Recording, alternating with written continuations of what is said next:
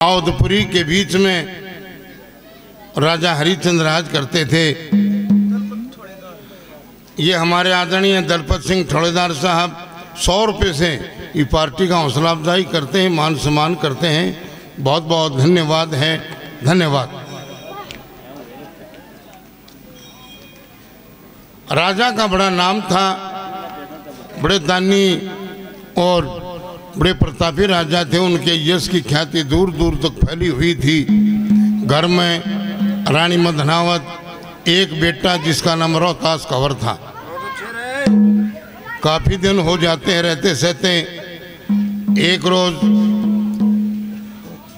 कौन के स्वरूपपुरी में भी ज़िक्र हुआ कि ऐसे प्रतापी राजा हैं, ऐसे दानी राजा हैं। मृतलोक में जिसका नाम राजा हरिचंद है जो कि अपने बाहर से किसी भी मंगते भिखारी को भोजन कराए बगैर, दान देने के बगैर नहीं जाने देते। अगर उनका यश फैलता रहा तो एक दिन स्वरूपपुर के राजा भी हो सकते हैं। तो उन देवताओं ने ऋषि विश्वामित्र को भेजा कि, महाराज, जाइए उनकी परीक्षा लो कि कितने दानी तो कौन के? ऋषि विश्वामित्र आके और राजा हरिचंद्र के दरबार में अलग जगह देते हैं। महाराज की जय हो।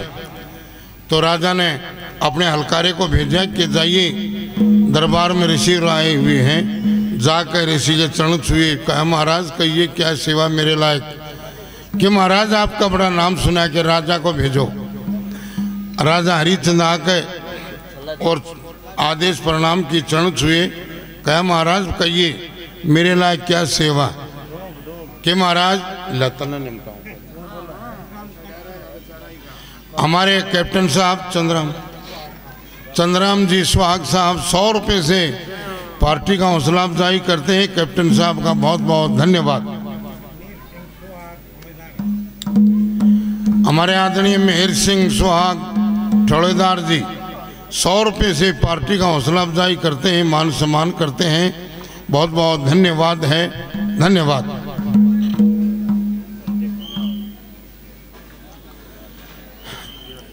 तो महाराज, आपका बड़ा नाम सुने कि महाराज, कहिए, आपको क्या चाहता है कि महाराज, पहले आप तीन वचन दो।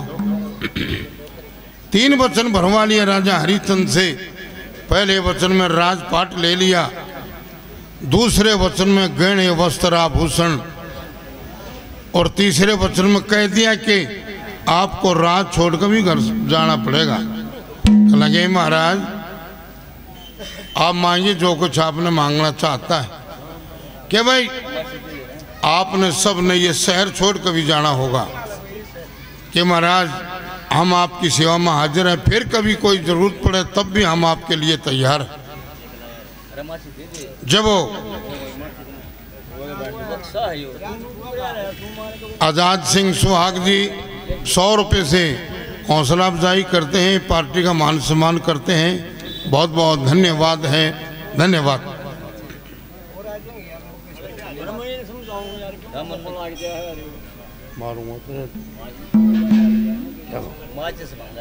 अब तीनों प्राणी कह दिया कि शहर छोड़कर, घर बार छोड़कर भी जाना होगा। जब वो चलने लग जाते हैं तो ऋषि कहते कि महाराज, एक बात और रहेगी मन में, क्या? सौ बार सोना। कह लगे, महाराज, आप जितना चाहे उतना ले सकते हैं, क्योंकि मेरे पास तो खजाने भरे हुए हैं। कह लगे, महाराज वो खजाने तो मेरे हो चुके हैं, क्योंकि दूसरे वचन में आपसे सब कुछ मांग लिया। तो महाराज, हम तीन प्राणी हमको बेचकर अपने भार पूरे कर लेना। अरे, इतनी बात सुन के कौन के रानी मधनावत राजा के पास आ जाते, देख देखा चेहरा उदास था। कहना कि महाराज, बात के। कहना कि रानी, क्या बताऊँ? राजा बड़े हैरान थे, बड़े उदास थे कि महाराज ने राजपाट सब कुछ, धन दौलत, गहने वस्त्राभूषण सब वचन में मांग लिए। कहना कि महाराज, कोई बात ना। ये ऋषि हैं, ये भगवान है। इनसे जो कुछ मांगो, दे दो। कभी ऐसा ना हो कि ऋषि भी नाराज़ होकर चले जा, कैसा नहीं? तो रानी पति को समझाती है, राजा हरिचंद को, क्या?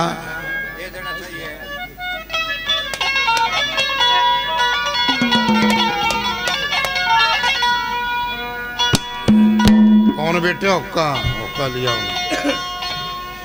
ओ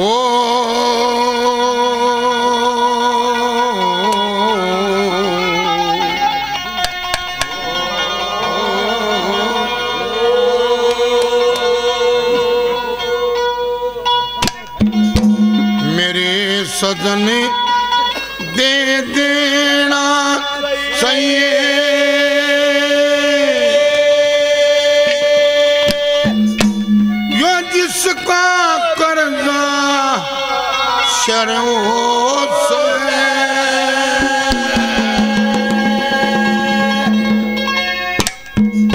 भाई नौकरा मानस आँख बदल जा समझदार की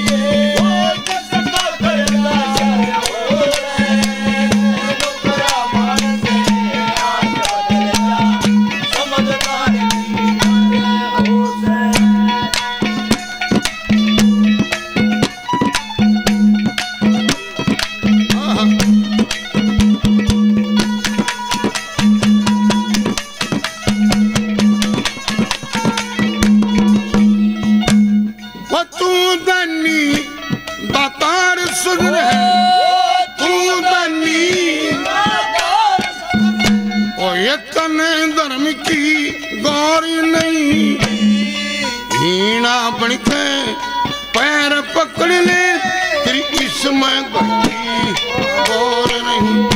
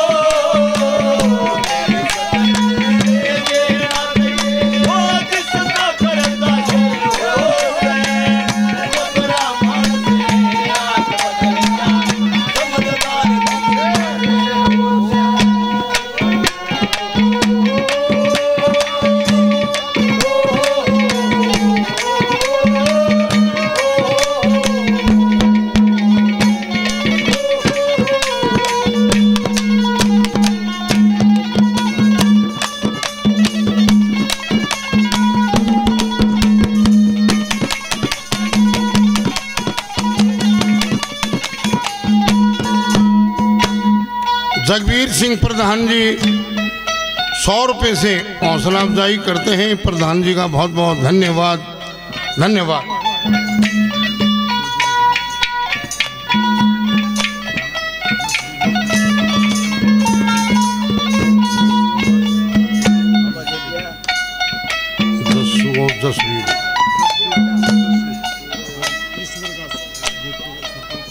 ये ईश्वर सिंह जी के बेटे, जसवीर सिंह उर्फ़ जस्सू। समाज सेवी बहुत समाज सेवी कोरोना काल में जिनका स्वर्गवास हो गया था, बहुत अच्छा नेक इंसान था। भगवान उनकी आत्मा को शांति दे। ये ग्यारह सौ रुपये इस पार्टी को हौसला अफजाई के लिए देते हैं। हम भगवान से प्रार्थना करते कि उस महान योगी को अपने चरणों में शुभ स्थान दें। बहुत बहुत धन्यवाद है। धन्यवाद।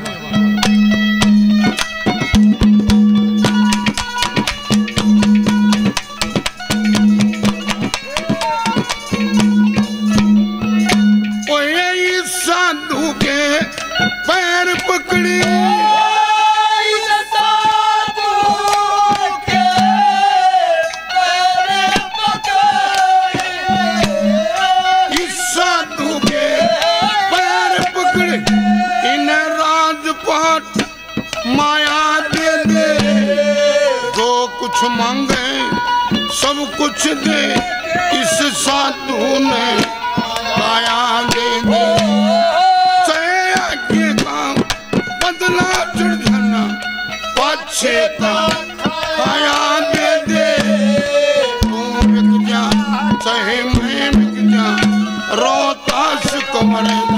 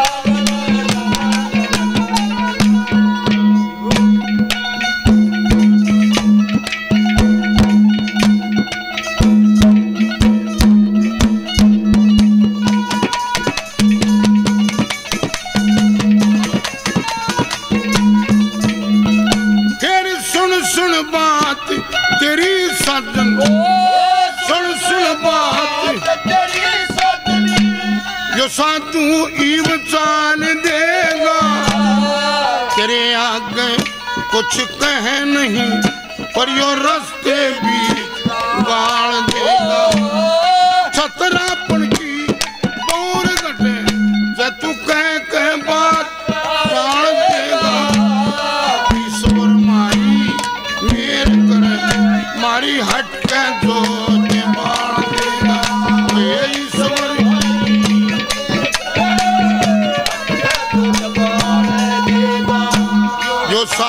साधु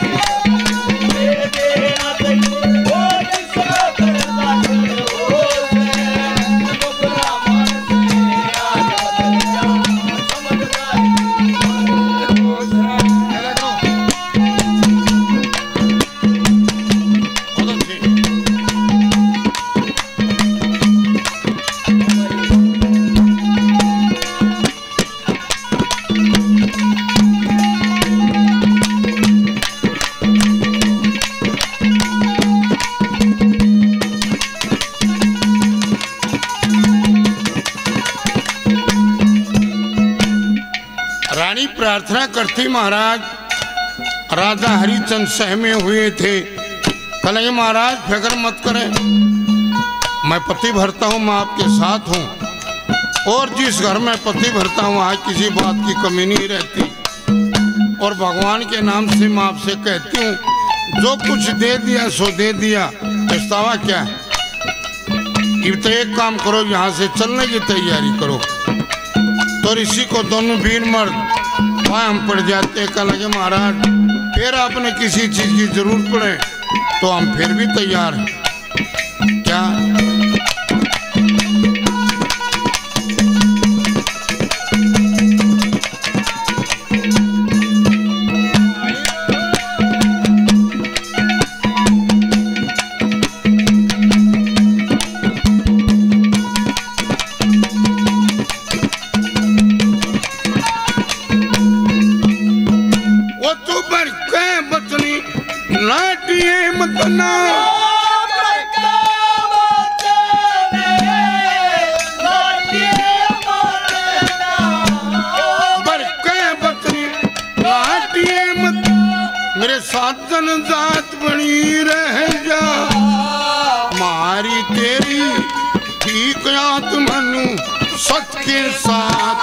பணி